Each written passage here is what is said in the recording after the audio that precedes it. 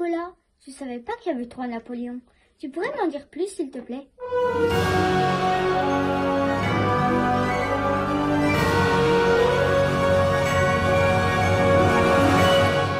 Salut Aujourd'hui, je révise avec toi Napoléon III.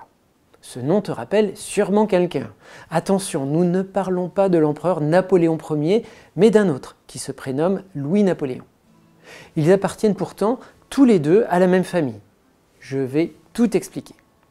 Commençons par un peu de généalogie. Né en 1808, Louis-Napoléon est le fils de Louis Bonaparte, l'un des frères de l'empereur Napoléon Ier et d'Hortense de Beauharnais. Il est donc le neveu de ce personnage emblématique qu'est Napoléon Bonaparte. Si tu veux en savoir plus sur cet illustre empereur, je te conseille de regarder notre vidéo que tu peux retrouver via le lien ci-dessous. Regarde cette frise chronologique. Elle te permet de bien situer Louis-Napoléon dans le temps. Nous sommes au 19e siècle. Après la chute de Napoléon Ier en 1815, la monarchie est de retour. Ce sont les rois qui gouvernent de 1815 à 1848. Mais le dernier roi, Louis-Philippe, est chassé par une révolution en 1848. La Deuxième République est proclamée. C'est à ce moment-là que Louis-Napoléon Bonaparte revient en France après avoir vécu de nombreuses années en exil. Quelles peuvent bien être ses intentions à ton avis?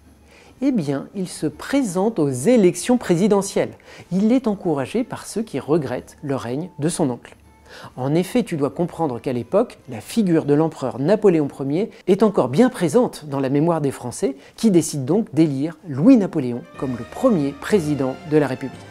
En revanche, il est élu pour 4 ans seulement, et très rapidement veut se présenter aux élections. Or, c'est interdit par la Constitution.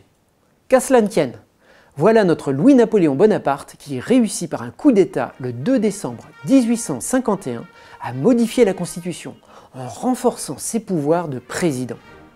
Un an plus tard, il organise un vote pour demander aux Français de rétablir l'Empire, ce que la grande majorité d'entre eux acceptent. Il prend alors le nom de Napoléon III et met en place un pouvoir autoritaire basé sur le soutien du peuple. La Chambre des députés ne peut proposer aucune loi et n'a que le pouvoir de voter celle proposée par l'empereur. C'est le début de ce que l'on appelle le Second Empire. Progressivement, le régime impérial va néanmoins s'assouplir. D'une part, l'empereur Napoléon III reconnaît de plus en plus de droits aux députés. D'autre part, la liberté d'opinion et de réunion est peu à peu rétablie. Ce qui profite, tu t'en doutes, à ceux qui s'opposent au pouvoir impérial. C'est l'époque de l'âge industriel en France. Le chemin de fer fait son apparition partout et va permettre l'exportation des produits régionaux dans tout le pays, comme le vin de Bordeaux ou les céréales. Le commerce se développe grâce à la création des grands magasins, l'ancêtre des supermarchés. Un système bancaire est créé et des traités d'échanges commerciaux sont signés entre la France et d'autres pays. Grâce à la politique de grands travaux mis en place par le baron Haussmann, de nombreuses villes, dont Paris, sont dotées de larges voies de communication pour pouvoir mieux y circuler. On les appelle les boulevards. Ces grands travaux permettent aussi d'assainir les régions marécageuses, comme la Sologne ou la Champagne. Ce développement de l'industrialisation conduit le pouvoir à porter une plus grande attention aux préoccupations du monde ouvrier qui se constitue alors. Ainsi, le droit de grève est accordé en 1864. Il est aussi important que tu saches qu'en termes de politique extérieure, Napoléon III veut redonner à la France une place importante en Europe il connaît tout d'abord de grandes victoires militaires. La première victoire, c'est la guerre de Crimée, pendant laquelle Napoléon III est allié avec l'Angleterre et l'Empire ottoman, l'actuelle Turquie, contre les Russes. Peut-être ces noms de bataille te disent quelque chose, Malakoff, Sébastopol. La France connaît un deuxième succès avec la campagne d'Italie.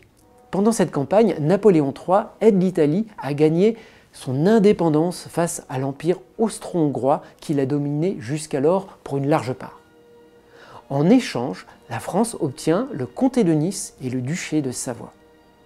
Cette fois-ci encore, des noms de bataille sont restés dans nos mémoires. Solferino, Magenta. Mais les interventions militaires de Napoléon III ne sont pas toujours des victoires.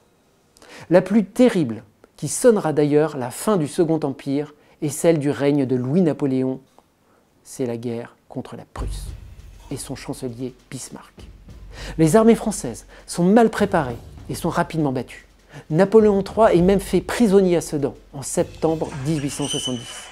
À Paris, les opposants au régime impérial en profitent pour proclamer la République le 4 septembre 1870. Libéré, Napoléon III doit s'exiler en Angleterre où il meurt en 1873. Finalement, que dois-tu retenir à propos de Napoléon III Il est le neveu de Napoléon Ier. Il est d'abord élu président de la République en 1848, puis devint empereur en 1852. Sous son règne, la France s'industrialise, le chemin de fer se développe, les villes se transforment avec de grands travaux. Il est d'abord victorieux dans ses guerres contre la Russie et l'Autriche, mais subit une grosse défaite contre la Prusse, qui sonne la fin du Second Empire. Voilà pour l'histoire de Louis-Napoléon Bonaparte et de la période du Second Empire. Après la fin de son règne, en 1870, démarre la Troisième République. Mais ceci est une autre histoire. Merci d'avoir regardé cet épisode. Si la vidéo t'a plu, n'hésite pas à la partager et abonne-toi à la chaîne pour ne pas rater les suivantes. A bientôt